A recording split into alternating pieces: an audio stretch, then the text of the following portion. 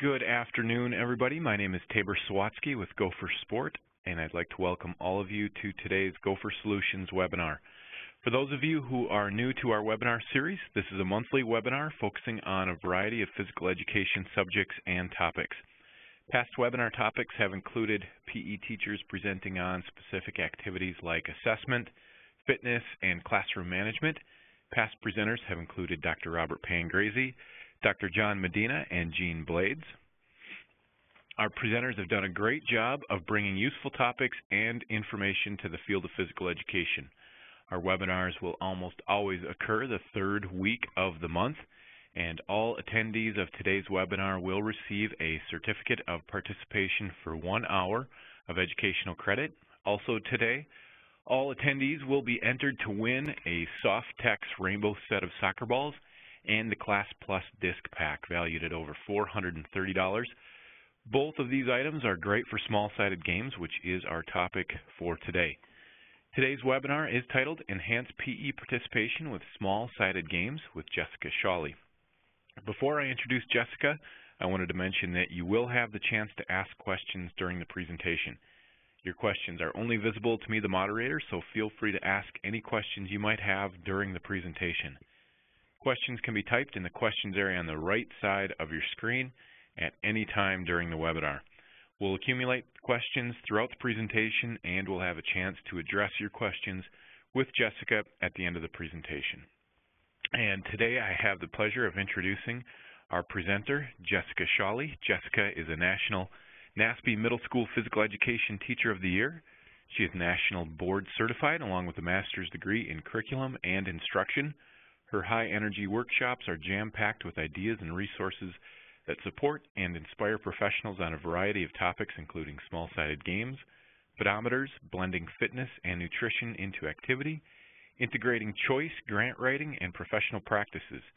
Teaching at Moscow Middle School in Moscow, Idaho since 2003, the core of Jessica's teaching is built upon emphasizing personal and social responsibility, providing student choice and meaningful content, and teaching a variety of activities that have a viable connection to students' lives. She strives to build a sense of value regarding physical activity, all while trying to have the most fun possible. Jessica played fast pitch softball at Whitworth University, where she earned her BA in Health and Fitness Education, an endorsement in Secondary Math Education, and Leadership Studies minor. Jessica is uh, just left her one class. She's going to wedge in this webinar here between her next class. And so at this time, I will turn it over to Jessica. It's all yours. Thanks, Jessica. Thank you, Tabor, and thank you for such a kind introduction, and thank you to Gopher for the opportunity to be here with everyone today, and thanks to everyone for listening in. So, you know, I'll just, I'll get right to it. I am so excited to be here. It's a favorite topic of mine. Uh, small-sided games is just a fantastic thing for physical education programs. So what's fun about today's webinar for me is I kind of get to be the PE DJ here, just kind of playing and sharing my favorite hits and highlights for what's working in my program and, and for me as a teacher. So really today's topic is also an extension of a blog that I wrote last year that was titled Five Ways Small-Sided Games Make a Big Impact. And so I really get to expand upon that with you today. And so I want everyone listening in just to, you know, take it all in, you know, take what's here today and then build upon it, make it your own, enhance it, and um, really have it impact your current program. Before we get going, I just wanted to let everyone know my context, my context and where I'm, I'm teaching at, that you understand I'm a middle school physical education teacher, and we are, we call our students CHAMPS, our program CHAMPS. We're creating healthy, active minds for personal success. It's a team teaching system. I have two other coworkers, and we share our students common assessments, student reflections, portfolios with some goal setting journals, other activities, our fitness gram, and we really emphasize community access information where they can do things in the community. And so each week the students rotate through the teachers in the different variety of units. And then we use the FitStep Pro pedometers daily, and they download them, and this is year-round. We focus on achievable MVPA and physical activity time goals when we're working within our activities, and this especially comes into play through small-sided gameplay with providing us data and feedback, and it allows us to, you know, assess our students and assess our own lessons and our teaching, and it helps motivate the students. And our foundation is really on a variety. We have physical activity themes and lifelong fitness. You know, FLASH is kind of an acronym there for us with fitness, lifetime activities, sports, and health.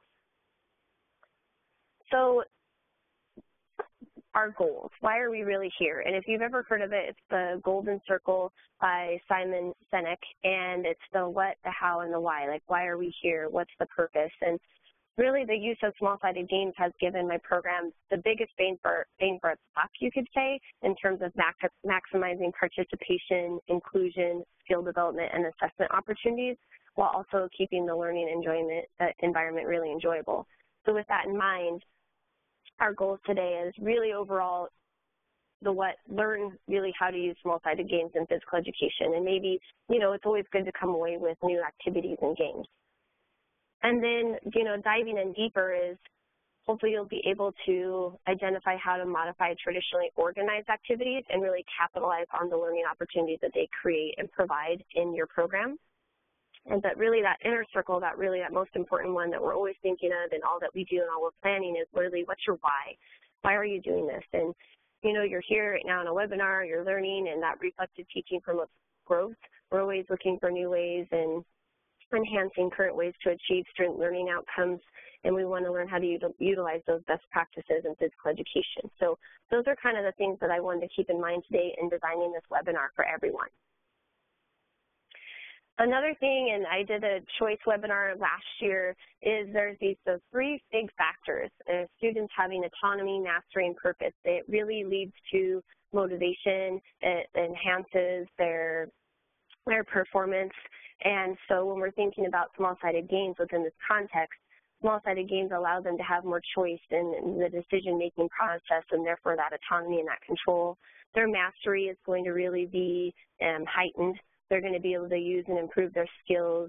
They're going to get more reps. And then their purpose, their sense of purpose of small-sided games, they have more value. They're on a smaller team. They're getting more interaction. They feel like they're making more of a difference. So those things, those that Venn diagram there, there's going to be a higher level of engagement um, using small-sided games as a best practice in your program. Another thing, and, and before I get into all this, you, I don't want you to have to read all these bullet points. All this information, I'm going to have it on my website for you to be able to utilize and access all the resources, all the handouts and everything. So it's going to be there. But I just wanted to show you in my webinar slides, which will also be available, that these things do align with our appropriate practices from our national organization. So the inclusion, the cooperation, the competition, maximizing participation, it's all there specifically self-responsibility, success rates are increased, your ability to provide teacher feedback and assessment. So it was really neat to kind of align and reference things and support things and show you, the listener, how small-sided games do help our planning and help meet our standards as well. And I gave you some examples here just from the grade level outcomes, the new ones that are out from Shape America, I have sixth, seventh, and eighth graders, so I just pulled one strand from each just as a simple example of how it really does align with all five of our national standards. You know, it's the invasion and field game stuff. They're using tactics and shots in the net wall games. We're increasing their fitness. We're really emphasizing personal and responsibility in all that we do, and that social interaction. Small-sided games are a great opportunity for this. So all this aligns and supports what we're doing, and that's really exciting. So let's get to it uh, it it was just it really is a great reflection for me. I remember as a first year teacher coming out and not really knowing anything about small-sided games and being a college softball player and a coach, you know, I found very quickly that the hardest unit for me to teach was the softball unit because I just had a a different mindset and I was like, okay, nine on nine, you know, or 10 on 10, this is how we do it. But the kids, there was a lot of standing around. The skill development was different. All their skill levels were different. And going too quickly in that larger context just did not work for my middle school kids. And so I really had to start researching how to make things better and how to get the skill development in better. And I just wasn't taught that right away. And so I really started to work on the small-sided games thing and, and research things and work with other teachers and attend professional development things and just being able to dial down our activities to provide better progressions is what these small-sided games are all about. We want to break down the larger game context into smaller teams, smaller spaces. We want to um, set up and practice specific game situations. We want them to practice and select a tactic. You could even go two on two, one versus one with whatever it is that you're doing. So it depends upon your grade level. You know, elementary school, you can go smaller than what's on the screen right now, and then you can build into it. And in high school, you can go into those really larger game contexts. And I just wanted to show these visuals so that we can wrap, uh, wrap our minds around that. How are we going to recreate the physical or tactical demands found in gameplay, but in smaller settings? And the, at the same time, we're still going to be improving their fitness levels. And so thankfully, you know, times have changed and so have I, and I've learned how to implement the small-sided games into my program and have progressions, and I'm excited to share that today.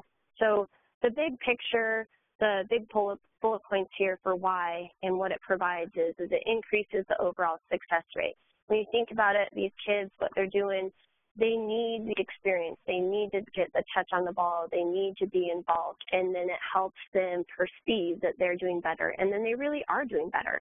And a great quote, that first one there is perceived competence sustains participation is really true. The research is showing that, you know, if they're really feeling successful, they're going to want to continue to do that activity the participation. We really want to, in physical education, maximize our space and time. We want everyone to be as active as possible. We want them achieving their moderate to vigorous physical activity or MVPA levels, and these small-sided game contexts help with that. The skill acquisition, same thing. The more opportunities I get to be involved, my skills are going to be improved. And then that tactical and that game sense, the application of strategy, the trial and error and learning from your experiences, it, it increases it all, and that's what it's all about. Also, we want to improve our inclusion. Everyone deserves an opportunity to participate, and being able to have small-sided gameplay in my classroom helps make sure everyone can be included and be successful. Next, assessment and feedback. I can provide feedback more often and it's more accurate and so that's why I really appreciate the small-sided game context. And I can assess more accurately or be more specific with students and what they can improve in. And then progressions. I'm going to talk a lot about progressions, bringing students along step by step so that they are successful. And then lastly, fitness. Yes, um, there's research out there. I've um, earmarked some stuff at the end here that you can look at it is small-sided gameplay depending on how you, you know, design it and what your goal is, it can also improve those student fitness levels. It's keeping them active. So it's really excited to share with everyone going into the importance of progression right away because that helps you wrap your mind around the small-sided game context is really students are better off to learn like the energy and the skills and the tactical application in those smaller group settings first. And then after this, you can build in that position work, the advanced strategies, and how to compete and win as a team. So really, before we give them this, this big picture, like I talked about earlier with the softball example, you know, before we give them this or make them do this, we need to give them this or let them have this, these small-sided game contexts, so that the perceived competence will sustain participation. That's that quote I got from a NASPE workshop years ago, and it really has stuck in my mind. And another way to think about it is proper progressions will sustain their participation as well and will help them feel successful. An exciting thing I found here, um, someone was really short and sweet in how they said it was four main things that students want in games. And, and you know, they want to play games and they want to they want to be in the action. And those four things really rang, tr rang true with me, and I wanted to share them with everyone today. They want action, they want involvement, they want excitement, and they want friendship. You know, this is a great recap of what physical education is about, and putting this larger games, breaking them down into smaller contexts will provide this for the students, and that helps encourage their participation, increase their motivation, and it's really exciting to see it be successful in programs. My first example that I wanted to go over today is a game that's been really successful in our program, and we just call it cone ball. And it really is just similar to ultimate frisbee or handball. But everyone has a cone usually as a physical educator and a ball, and that's what we use. So keeping it really simple. This year there's pictures here of us on the tennis courts. We were out of a out of a gym for over a year. And so we had to use the space outside even during poor weather. And I have three different pictures there of cones set up on our tennis courts. And we were able to, depending on whatever class size it was, provide a variety of small-sided games called cone ball. And it's ultimate frisbee style rules. They're using passing only to move the ball, and they're trying to knock over the opponent's cone. It's two points if they knock over the cone, one point if they just hit the cone. And there's really no need for a goalie. You're playing three on three. If you wanted to have a goalie, you could, and then they stood, stood oh, you know, away from the cone. They can't stand on it. And then we add lots of layers and builds or progressions, you can call them, and modifications to help everyone be successful and to increase their skill development as they go. And I'll talk a little bit more about those in these next slides. You can also have rules of three. I didn't want to forget those. You know, three seconds to pass, you have to stand three feet away. You can only take, you know, maximum of three steps depending upon the level of um, students that you have. So cone ball is one of the first ones that we teach our students. And then here they are, three on three cone ball in our gym setting. So when we were able to come back into our gymnasium this spring, we brought out cone ball again so the students could see it in the gym setting. And then the top left-hand picture there, I was super excited about this product coming out. It gives them a different angle, a different view of just instead of just a cone, they're knocking over something else, and it's the stir tee where this beach ball is propped up on it, and the kids loved it. What's neat about the bottom picture there is um, it goes with that image in the middle is we actually set up several sets of small-sided games and even on three floors, we have three floors there, and the students do a wonderful job of staying in a safe space. We emphasize safe space and if the ball goes into another game, they go around and they go get it. They're looking out for one another, and they get lots of repetition. There's no sitting out. Everyone's moving. We're working on finding an open space, communicating with one another, um, making different shots, how to guard people. It's really a great context, and the kids love the game.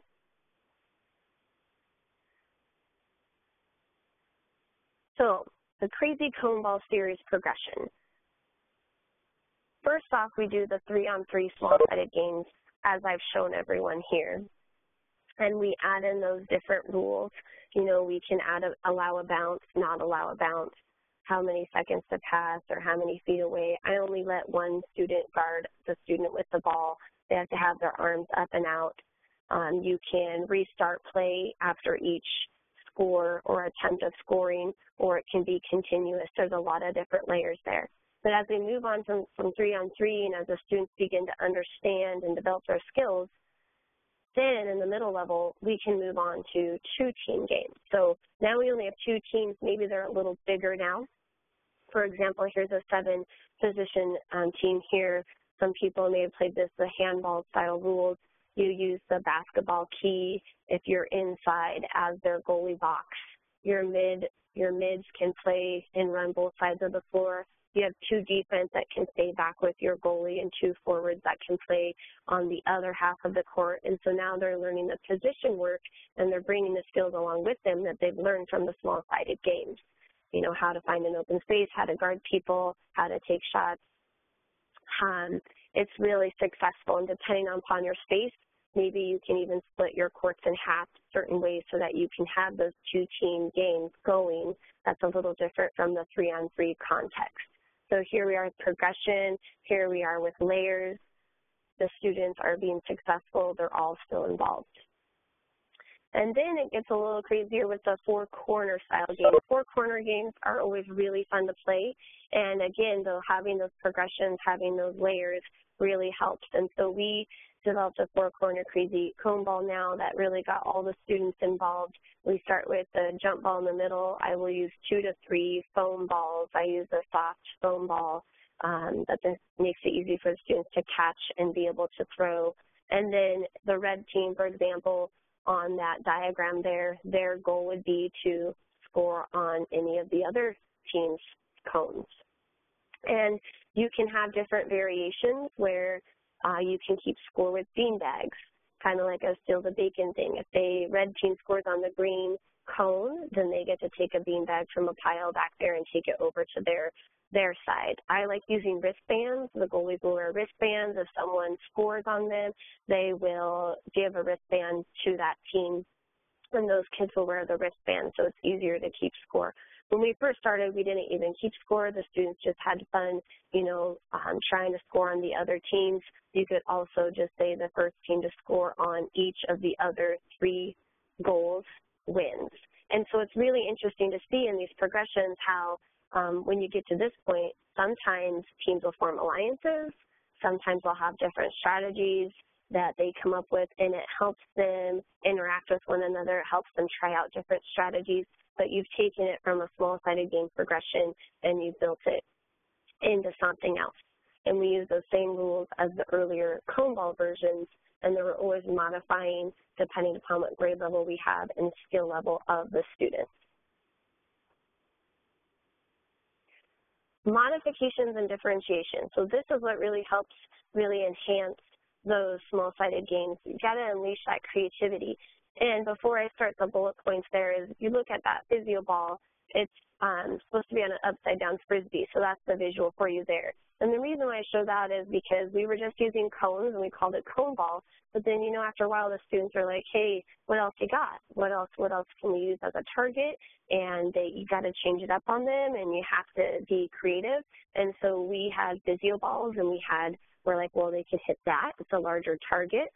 And we decided to put it on an upside down frisbee and then that held there, and then if they hit the ball or knocked it off of the frisbee, that would count as a point. So you can be creative with any of the, the equipment that you have. When it comes to the beginning level of play, I really like starting with a new jump ball after each time you score or allowing a reset of the game and the team that didn't score, they get to start with the ball. And another great one is after any attempt to score a goal, regardless of the outcome, the other team gets possession. And that just helps with as the ball scrambles out of bounds or scrambles somewhere, they're not running after it and running into other people. They just know it's uh, regardless of whether that person made the shot or not, it's the other team's possession. And you can also allow one to two bounces on the pass so that they're they're catching the ball and actually instantly hits out of their hands. They can recover it or their teammates might be smart in, you know, using that bounce pass depending upon the game you're playing. Have you taught them a bounce pass versus just an overhand pass? Some more advanced options for your differentiation are you can allow the continuous play so that they're hustling after their shots. They can rebound a shot. They can continue play. Um, they can, after a score, they can, the goalie throws it in after setting up the cone um, or whatever the target is, and then you can take away that bounce pass. So there's some beginning and advanced level ideas. For any level, if you start to get into some bigger teams when you have those smaller sided game situations the three on three, I, you know, I let my kids play sometimes three on four, and then we talk about what was it like to play three on four? What was it like for that other team to have that extra person so that then no one's sitting out? And then it's a good talking, talking or strategy session for the teams to learn. And then some, for example, in basketball, you could say whoever takes the shot rotates out, and there's a constant rotation for however many seconds. Another one, the last point there is I really wanted to emphasize, depending upon your space and the amount of equipment you have, I really encourage people and teachers to think of play half court games. Anything you have, whether it's a yard game like horseshoes or cone ball like I've been talking about, break the games in half. And instead of having cones on each end, it's half court. So now I'm throwing a horseshoe at the horseshoe pit. I run down, I pick it up, and I run back. You know, I'm playing half court cone ball, same thing. Um, just like in half-court basketball, they have to return that ball outside of that three-point line before they can go back in and score. So there again, you can have some smaller-sided context, and depending upon if your equipment is limited, you can um, use the half-court style as well to enhance the small-sided game. Just some more ideas here is allowing the more or less bounces on the pass, the, the steps as well, while in possession after a catch, you can always add or remove players, add or remove positions. play no out of bounds. If you're inside, we've allowed the ball, if it accidentally hits off the wall, if they catch it off the wall, that's fine. You know, it depends upon what's safe for you, how the environment works for you. Um, the jumping jack guarding, I like to call it, is the arms are always up and out. You're that arm's length away or the three feet away. Another one we've done is after small-sided progressions and just being able to mix it up for the kids as they choose their level of competition. So we've done a lot of mixed abilities, a lot of mixed skills, they're developing their skills, and now maybe there's a lesson there where we allow them to choose, are they more of a challenge or competitive, there's those super competitive kids, and they don't have to be the best skilled, it's just their choice of, of competition. So I think we really emphasize that difference if we're doing that. And then there's recreation, like they're you know, a little less competitive, but they're still playing, they're still working hard, and it's amazing to see their, the kids when they're allowed to choose what level of competition they want how they get even more into it. And so we really like to mix it up so it's not always one way or the other. We're providing a variety, and again, that autonomy and that choice that they have in their environment really helps as well. Some favorites that I really love are is that you cannot attempt to score twice in a row. So this one really helps share the ball in the games. The same person cannot attempt to score over and over and over again. They have to now start thinking about, okay, who can I get it to? How can I set my team up for success? Because I can't attempt to score twice in a row. You could require a sequence of passes. Everyone must, must touch the ball before trying to score. You can require a certain number of passes before taking a shot, and you could have them have to count those out loud even if needed, and then they take the shot. And another one of my favorites is if you score, then you go exchange places with your goalie. And then this way you don't have the same person at the goalie position if you have a goalie, you know, if it's a little bigger context. They're not there the whole time, whether they want to be or not. And it allows for everyone to be involved and to share the scoring responsibility. So those are some really great modifications and progressions to think about. And another one is that I get questions on a lot is, well, my space. My space is really small or I have really large class sizes. And so here are some suggestions for when that happens. I have used the live sideline where the students have to side shuffle to where wherever the ball is at and they're that live sideline. So they're side shuffling, it can be jogging in place when they're waiting if the ball hasn't left that part of the court. What helps with this is I have my pedometer goals. So they have activity time goals they can still be active. They can be watching the game. And then if the team gets stuck, they can use a pass to the sideline to have help. And then the sideline can catch it and they have to pass that back to that team that had possession of the ball. So it lets everyone stay involved. Another idea is you could have a strategy session sideline. So if you're really emphasizing different tactics and strategies and reflections, a team could rotate out, be watching others, they could be watching their own gameplay if it was being recorded and you were using some sort of video delay app and they could watch that session. They could analyze it and then before they return on their rotation, they have to let the teacher know, hey, what's one strategy, a new strategy we're going to apply, um, apply or try when we go back into our game context. So that strategy session is great reflection for the team. Some other ideas are fitness center sidelines. So maybe you have a setup there, you have three smaller sided games going, maybe two, whatever it is, but on your baselines or some other area, again, this can be done inside or outside, which really makes it excellent. You can bring out the fitness center aspect stuff, some jump ropes, body weight exercises, floor spots, exercise spots, FitDeck cards. There's so many different ideas. And they can just rotate through those on their own, 10 of each, five of each, whatever it is, and then when it's their turn to go into the um, gameplay, whatever rotation you have, they've been still doing something that's purposeful. They've been working on their fitness. Health Center is another one. There's the Scholastics nutrition cards. There's Nutrition My Plate games. There's content questions that you could have that they could be reviewing, different activities that are short, quick, that you can have on the baseline self-reflection journal time, maybe a self-assessment rubric, how, how am I doing with my throwing, finding an open space, whatever it is. And again, the strategy session stuff is really wonderful for a peer check, peer check rubric. You know, maybe they're watching somebody and then giving them feedback. So that's another way to utilize maybe those larger class sizes and you want to still be able to have the small-sided game context. Assessments, feedback, and pedometer use. So all this helps with using that FitStep Pro pedometer, some piece of feedback to where the students know how they're doing, the teacher knows how they're doing. Am I talking too much and my students didn't have enough lesson time today? Well, my pedometer tells me that because it takes activity time and it takes MVPA time. And so I really do encourage daily pedometer use, downloading that data so that you can analyze it. You can know how you're doing as a teacher. How are your lessons doing? Are they as active as you like when they're supposed to be, you know, having that certain level of MVPA? It's not every lesson's different. You know, we can't have that same level of MVPA all the time. But when we want them being active, hey, this is a great way to have that feedback. Setting achievable goals, though, is really important. We don't want to burn these kids out. We want to set them up for success. And so learning how to set those achievable goals, maybe starting small, seeing how that works, and then building for there so that they're not discouraged and that so that they can achieve them and that what matches it matches what the effort they're putting into it, the results they're getting, the expectations that their teacher has, and the student feels successful and wants to continue. The pedometers, they allow for self-assessment as well. I have my students set personal goals.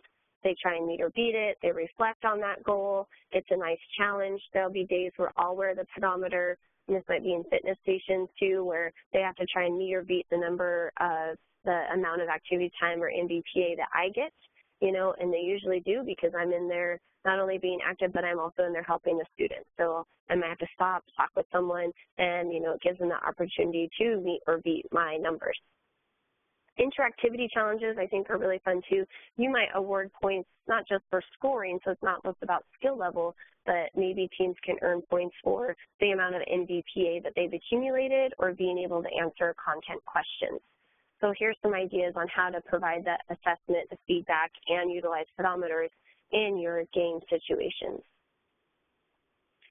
I think it's fun to talk about target and goal variations. Again, mixing it up for kids. So you could have all different sizes of cones. If you were doing four corner cone ball, you could have a different size cone at each corner. Make each team take a turn guarding the different sizes and then ask them to reflect on, on that. What was it like? What, what was it easier or harder guarding which side of cone, which size of cone? Which did you prefer?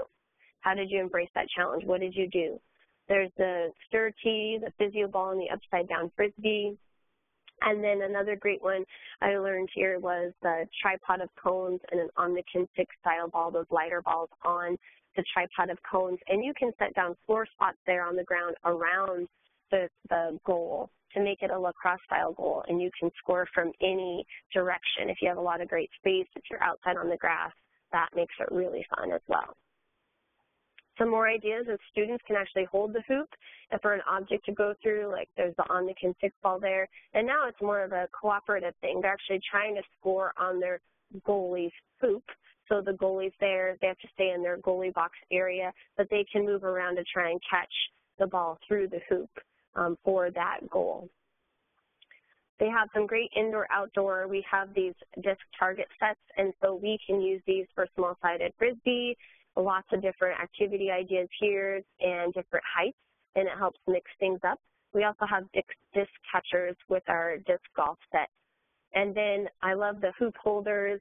You know, that's a really simple way to throw those in, and you could even play like disc golf on scooters if you'd like inside. If you get rained out, we get rained out when we're playing disc golf, and so we'll bring it in and have our hoop holders, and we'll throw our discs through there, and we have some foam indoor discs. So there's a lot of fun ideas. With the TPSR teaching personal and social responsibility, I do post the code of conduct so I can re refer my kids to that in a conversation. Are you respecting the rules? That, are you maintaining your self-control? And that's really helpful inside the game context. So I just wanted to share that with you. Also, I really want to emphasize the power of debriefing. And I love this quote, too often we give children the answers to remember rather than problems to solve. And this is all about problem solving. And so having that strategy session time, being able to um, a talk with your team and then as the teacher say, what's the one strategy you came up with? What did you reflect upon? It's really important for them. you know, so a strong lesson debrief or lesson closure and the teaching games for understanding and the game sense stuff is really helpful in all of this and you can apply this and meld them together. But I didn't want to, um, I wanted to really emphasize small-sided games in general and then I have a lot of resources for you at the end that are about the TGFU and the game sense. You know, how are we going to teach our students to read, respond, react, and then recover within gameplay. And so I really liked that um, picture there, and I'll show it one more time here. And I found this through social media. You gotta love that. And I have the reference there, and there he has a great website. So another one here, and its referenced, is for the TGFU model.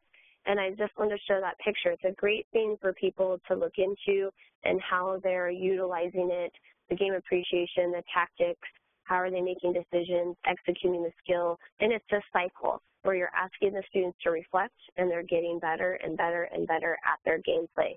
So it's an excellent thing to integrate in.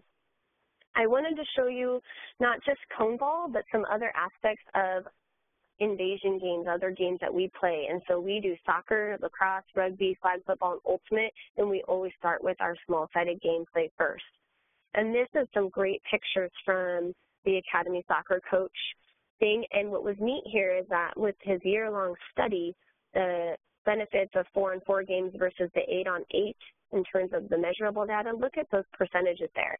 How many more, per, how, 135% more passes, so many more attempts on the goal, more one-on-one -on -one encounters. Just the percentages are really positive there in helping the students get better and this gentleman had or this resource had all these different types of games and you can adapt any game, not just soccer, to the games that you play and utilize these small-sided games. So there'll be some neat pictures for you to refer back to in the resources. Ultimate Frisbee, I talked a little bit about it earlier. You can break that down as a small-sided game and you can use the disc golf catchers as a target versus an end zone. You can you can do both. Another excellent game that I love, especially as a lead up, is the box style ultimate frisbee game, and you have cones in a grid and you have more cones inside of it. And so you have a square set up within a square and that smaller square is your goal. So it's kind of an inside out game where they are they have to stay within the big square and they have to try and catch it in that goal box. And it's kind of like the key where three seconds in the key, you can't be standing and camping out in that center box the whole time to catch the frisbee. You have to try and get in, get your pass. If you don't get it, you have to go back out. And so it really is very small-sided. You can have a lot of them set up on a field and it really is great for them. It can be a make it, take it. So once I score, I now have to pass it outside to my teammates, and we have to go outside of the cones, the larger cones, before we can go back in. And that makes it challenging in and of itself because the goal, the frisbee might be intercepted or knocked down during that time. Volleyball. Volleyball's really been turned upside down in a positive way for us with the smaller sided gameplay. We used to have large nets and we did traditional teams, and that's what we did. Well, we have middle school kids. The ball dropped a lot, and now there's a lot of great games where you can allow the bounce. Um, you can play with different types of volleyballs. We use the lighter ones. We've setting, we're setting them up for success. But that was then, and what we realized was is on our basketball court, we had the net going all the way across with the pickleball net, and then our badminton nets. And so I say, said, hey, why not leave them there on the standard and put our badminton nets at volleyball height. And so now we have four small volleyball courts going all the way across, and they love it. Now this group is six on six, but we usually have four on four. You can have the different progressions, and it's just wonderful. The ball drops a lot less. The kids are able to apply their skills a lot better, and I can fit more students in an area and they're more successful and they still have plenty of room. I mean, I have middle school kids, so this might be a little different in a high school context, but for small-sided games and lead up, it's a great idea to consider. So when I'm using my two side courts for volleyball, I could really use one now and still have the same amount of students going. So I really encourage people to think about that and to rethink that traditional. Same thing with soccer and cricket. There's a great game, it's also called Wamba Ball, is, um, now with this picture, the kids would be more spread out, obviously, but just a great little example picture here is you can play a cricket-style softball game, you can play a cricket-style game, and everyone's getting in and they're playing some sort of aspect of the larger group game. And that was one of my frustrations with softball when I originally started teaching it is you have that one person batting and everyone else standing around. Well, for our skill development and getting, we weren't there yet. And so this would be a great lead-up game, a great small-sided game to build into that. Just a recap here is hopefully you really understood that the small-sided games really do improve the overall success rate of your students. They're going to get more touches on the ball. They're going to increase their skills and it's going to maximize participation. In the picture above, I have all of my students playing. I have all my adapted and um, students in there as well, and all of them have a part on their team and they're all involved. It's really wonderful. Their skills are also, you know, increasing and they're we're promoting the tactical and the strategic application and they're being able to talk as a team and try out different strategies. Increasing level of inclusion, I've already mentioned that and I'm able to walk around, pop in, talk with kids, provide specific feedback. You know, I'm able to assess how are they doing, are they being involved. It's really exciting. And the progressions really are key here in the recap is those progressions to bring everyone along, you know, that perceived competence sustains participation. And fitness levels are being improved. Everyone's being active, everyone's going. It's really exciting. Here are several slides of resources. Like I said, I'm giving you all my favorite hits here. Here's, here's a lot of different ways, blogs, resource pages, papers, um, games. It's all here. It will be on the website for you that you see there, the PE Champs. And again, Champs is creating healthy, active minds for personal success. That's our program here at Moscow Middle School. Our kids are champions of you know, their fitness, their health, their lifelong activity, and we're really excited about what we're doing. I have my own progressions handout that I use for my sessions. There's Wamba ball, ball, bonker ball, disc lacrosse, and then, of course, um, there's all the papers there. So it's really exciting. That last um, picture there on the right couldn't be, you know, more true. It's the most valuable resource that all teachers have is each other. So without collaboration, our growth is limited to our own perspectives. And so I really thank everyone for being here today. This, all I've learned from others before me, you take it, you build upon it to make it work for your students so that they can all be successful. So I really thank you for watching today, and I encourage you to contact me anytime. I encourage you to get involved in the social media professional network that's out there, Voxer, Twitter, Facebook, all those things. There's great people out there sharing ideas and I really want to thank you for your time today. Well, thanks, Jessica. And a reminder, we do have time for questions. So you can enter your questions on the right-hand side of your sc screen. Again, I'm the only one, the moderator, who can see those questions. We'll get to as many of those as we can. Um, so feel free to ask any questions you might have there. Um, a couple of things that we did have questions on early on.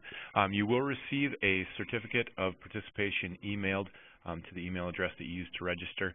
Also, a number of people wondering if the slides will be available. We'll also email out a link to the slides. Um, a couple of questions for you, Jessica. Um, how much time do you spend? You mentioned the debrief for the lesson closure. Um, how do you do that? How much time do you spend on that um, to maximize? I know maximizing physical activity is a big part of um, PE classes right now. How do you do that? Well, it's definitely a learning experience for me. I think it depends on the class and the, the length of my day. My class periods are 49 minutes in length on some days, and then they're 72 minutes in length on other days. And so those 72-minute days, we do half of it is fitness training. So today we are doing different circuits, agility circuits, working our skill-related fitness and our health-related fitness. And then the second part of class would be their um, other activity, pickleball or dance or the um, other games that we're doing. So depending upon how much time I have, um, I will take those strategy session breaks throughout the gameplay to give them that timeout because I don't want the kids to tucker out too. If you let the, mm-hmm. the games go for too long, then they get tired anyways and they're not giving their best. And so you know, keeping rounds of games to like three or four minutes in the smaller sided context and giving them a quick break to be able to talk some strategy, I think is a really good starting point. And then at the end, the wrap up, bring them in for the two to three minutes if you wanted them to be stretching at the same time, if you were concerned about losing activity time, if you wanted them to be, um, I mean, there's a variety of ways, but you really have to play with it. I'm not advocating for a five to 10 minute lesson closure, but I think it's really critical that we spend a few minutes checking in with our kids. How was our activity time today? You know, what was it like compared to the day before? What made your team successful? What's one, I'll, I'll pull from each team so that no one, you know, gets out of it is I'll say I need each team to give me one thing that helped them be successful today or what's one thing that overall that they found in the game as a successful strategy or if one team shares one thing, I'll say, okay, let's build upon that.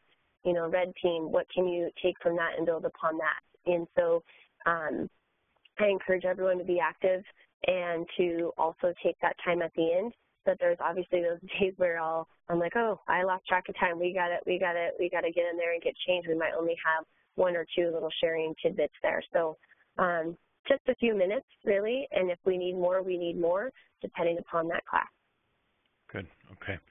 Um, and just a general question, how many students do you typically have in your classes? On average, about 30.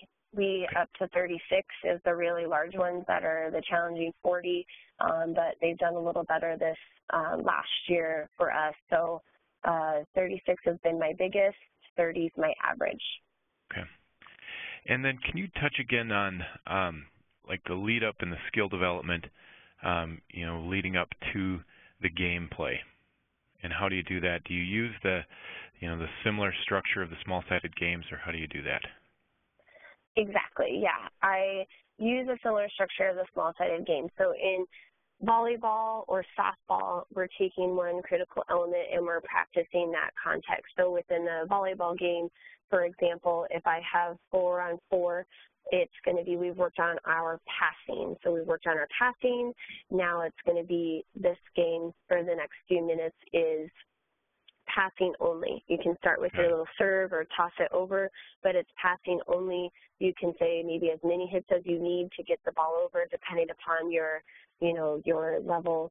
Or I've said, you know, you have to have at least two hits before you send it over the net. So you're really, and that's the game you know, you're really making them work on, okay, passing only two passes before you send it over the net. So if you don't, then it's a point for the other team. And then that way the games aren't just they bump it back and forth with one hit only. Um, for those small-sided games, we're focusing on that particular skill, and then we'll add another one in. Okay, so now you have to have at least two passes and a set or something, you know, no spiking yet. We have, they always want to get, I just want to spike, I just want to spike. Well, you don't know how to spike yet. We're going to practice spiking, but right. we want to get the, the pass as the foundation. You have to have a good pass, have to have a good serve, you know, so we, we dial them back and then we do practice the spikes, we do practice the setting. But being on those smaller nets and those smaller courts, I can get everyone the repetitions that they need within the drills and those small-sided games. So um, that's what's really exciting about. You can pick a skill or a strategy to emphasize and emphasize that, make that the requirement for that part of the game, and then build it into something else. Or maybe you have, you know, multiple rules that you're working on. Um, you just have to continue to find a way to play with, you know, how much is too much and how much is not enough. And there, there's a different formula for everyone, but that's how I um, do that myself. So um, I hope that helps with that one.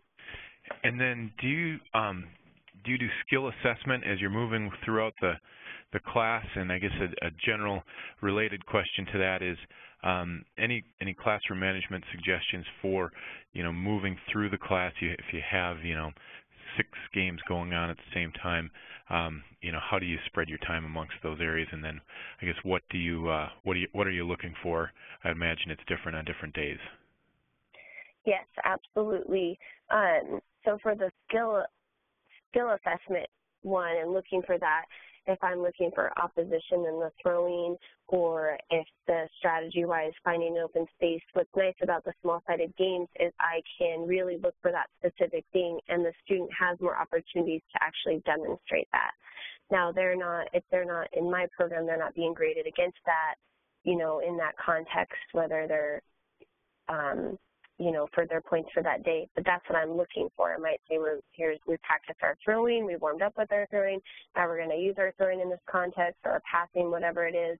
And so I can give them that feedback in that that game situation. Are they able to apply it in some um, brief feedback or more of the strategy stuff in those situations? And that's what I like about the skills stuff. If I'm looking at their skills or their strategies, I can actually see it happening versus in the larger game context when it was 11 on 11 or 10 on 10 for softball, I didn't get to see everyone bat all the time, every class period. I didn't get to see everybody, you know, throw or run or whatever it was. And so the small-sided games helped me be able to see from our warm-ups or our skill, you know, uh, drills or whatever in the, the games, are they being able to apply it and how is it going in the applica- application setting? And then the management, the classroom management is I have to space them out enough. I have to, you know, my back is not to the students as much as possible so I can always keep students in view. And I really try and emphasize safety with them and being in control. And if they're not in control, I'm pulling them. I'm, you just start to develop that where can I stand and how do I move through and who am I checking in with and so that that is a big emphasis for me is that management piece, and then it helps keep the rest of it successful. Uh, so I really like that sport ed code of conduct, hanging it up on the wall. If I'm having issues with some students, I can have them check in with me, and I can pull them aside and say, hey, how's it going today? What do you think we're we're needing to improve in with our code of conduct? Are you maintaining your self-control? Are you, um, you know, respecting the rules and the calls? And so that's that quick check-in, and then I can move on to another group. But it's no different than a large group setting. You know, you have to check in with different kids. You're watching the kids in the big picture, and you're moving around with them. And so the classroom management is definitely um, uh, it's an interesting piece, and it's a good piece. I like the smaller-sided game situation, so I can move throughout them, and um, you just get better and better as the day goes as to how much time to spend and where and who have you checked in with and, and what, are, what are you working on for the day. So kind of planning that out really helps. Okay, good. Um, question about um, kind of the the def definition and the effectiveness of of the size of the of small-sided games. Um, what's your thought on on the number of kids um, per team um, that would fall within the de definition of a small-sided game? If somebody had you know 70 students or somebody has 30 students. Um, you know with 30 students are you looking at you know dividing up so you have six different teams 70 students you know should it be you know, 12 teams? What are your thoughts with folks who maybe have some really big classes but also have a bigger space? What would you say is a good number for the team size on small sided games? Oh that's a hard question because everyone is so different. So i think doing the best you can at maximizing your space and your equipment that's available. You know, I think that's that's the hard part. And I know in one of the resources that I have for folks is um, the soccer profession. They they're so great with they've had so much information on the small-sided gameplay, and there's a graph in one of them. If any of those people want that, I can refer them to that. But they actually have a breakdown of like age groups and small-sided games and 4v4. You know, utilizing it with six and eight year olds, nine and 10 year olds, 11 and 12 year olds, and then it moves up to five versus five, and then seven versus seven is more for nine and 10, 11, 12, and, and older. Nine on nine is more for middle school and older. And so there's this neat graph that you can see, and I've known people who do with lead up kind of activities, two on two, one on one, just for some skill development and whatnot. So that's a little more difficult for me to answers. It mm-hmm. depends on what their goal for the day too. Are they going to do when I have those really large classes and it sounds like it might maybe only be half the size of someone else's class, and that's unfortunate for that student to teacher ratio in those school districts. You know, we're trying to advocate for that and at our national level to make those changes. But when that's what you have, you know, are you going to do half of it fitness, half of it the small-sided gameplay, right. and then how big is that space? So for me, what I'm doing is I have three on three, four on four. We might work up to five on five, six on six. depending on the sport or the activity, and also it depends upon my time for the day, the um, equipment that I have, and the number of kids. So I think there's different formulas you can try, and that's what we've done. We have just we have tried different things and found something that works for us, and we're always changing and we're always going. So you know, I'm I'm sorry I cannot answer that a little no, right. more for them. I hope that helps. I think that's what's interesting about small-sided games is there's a lot of different definitions of that as well. And then you have TGFU, the Teaching Games for Understanding. You have Game Sense. There's all that kind of mixed in there. And so I really wanted to keep this to small-sided games on three on three, four on four, or five on five, depending upon what that larger context looks like. So, so what does the larger game look like? Try and break that down as best you can, and then have progressions from there. Good. Well, thank you, Jessica, for taking time out of your day. I know you've got a class yeah. to teach here, so we'll let you get going. Before um, I announce the winner of our Softex Rainbow set of soccer balls in our Class Plus disc pack, I wanted to remind everybody that our next webinar will be next month. Um, keep an eye out in your email for what the topic will be. Um, your certificate of participation and the will should be on its way shortly, and the announcement of our next webinar um, will be on its way shortly too. Um, the winner is Ed Wellen of California. He's a PE teacher at the Gillespie School, and he has won a $430 equipment pack that includes a set of six Softex Rainbow soccer balls and our Class Plus disc packs. Again, I want to thank everybody for joining us today, and we hope that you can join us again for a future webinar. Thanks, Jessica. Thank you, everybody.